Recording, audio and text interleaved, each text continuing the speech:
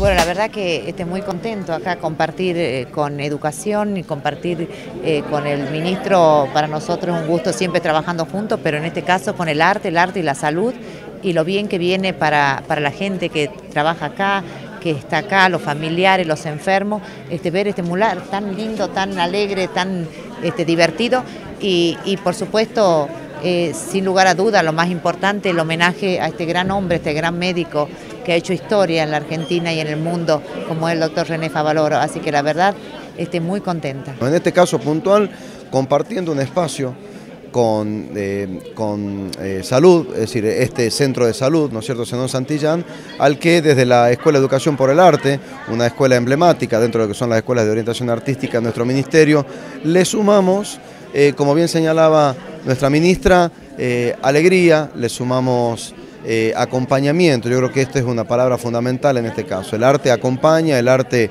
cobija y el arte nos permite eh, un momento de reflexión y, por qué no, un momento de tranquilidad en lo que obviamente es un trance difícil. La gente que viene a un hospital viene por alguna situación compleja y el arte nos acompaña. Toda nuestra comunidad hospitalaria, este mural puntualmente, eh, va a quedar grabado en el corazón de este grupo de gestión con toda seguridad. Hay dos razones. La primera porque fue, fue una sorpresa, una grata sorpresa, por la historia que tiene lo que representa el mural y por lo bonito que quedó.